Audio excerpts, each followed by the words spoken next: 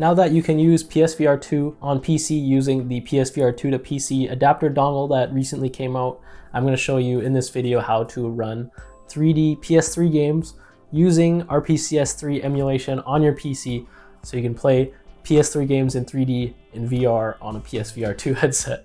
because if you're like me and you totally missed out on the 3D PS3 game trend, and maybe you already have a VR headset and a pretty powerful PC, this is a really cool way to experience 3D PS3 games. But enough blabbering about it, let's get into it.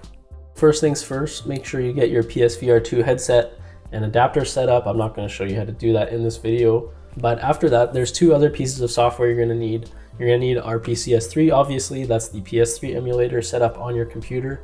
And then you're going to need Bigscreen Beta, which is a free piece of software on the Steam store, which lets you get your VR headset into a virtual theater or home theater or living room or drive-in theater. There's all sorts of options in that app, but it's free and it has some 3D options, so that's what we're going to be using. Going back to RPCS3, you're going to need a 3D PS3 game.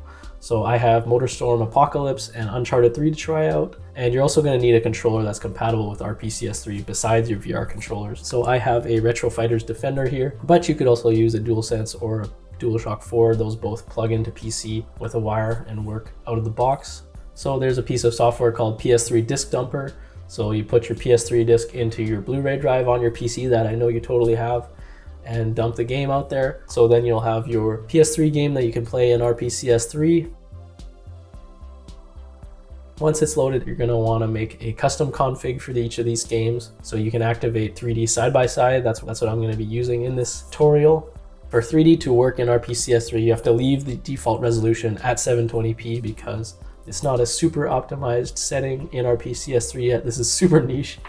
And then I recommend looking up on the RPCS3 website for other optimization settings for each game because this is going to be quite an intensive process running VR and emulating a PS3 game in 3D at the same time. So you're going to want as many optimizations as you possibly can get.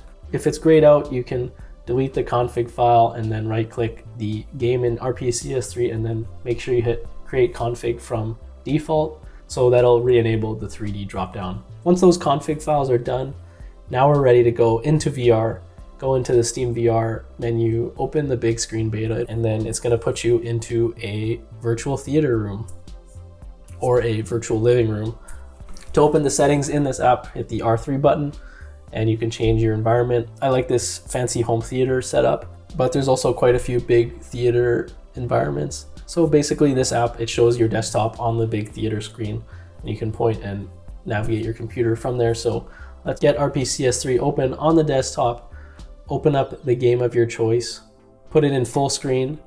MotorStorm Apocalypse gives you an option to enable 3D at the start of the game, whereas Uncharted 3, the 3D option is in options display.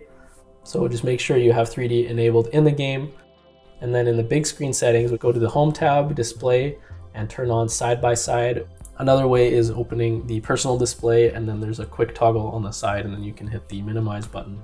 So there's two options there to enable 3D and that'll overlay the side by side 3D into your headset and then you'll notice that it's stretched. So grab your controller that you were going to play RPCS3 with, hit the home button, click video settings, expand image, and that will fix the aspect ratio when it's in 3D view and now you can play your game.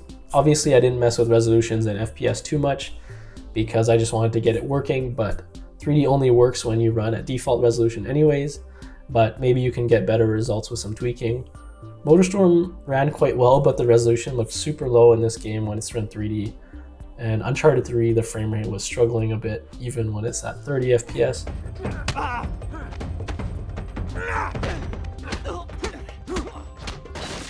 But both of these games that I've tried only have an in-game status at the moment on the RPCS3 database, so they're not working 100% anyways. Hopefully this was a helpful tutorial and now you are able to experience 3D PS3 games using your PSVR 2 headset on a PC. Thank you so much for watching if you made it this far, like and subscribe and all that good stuff.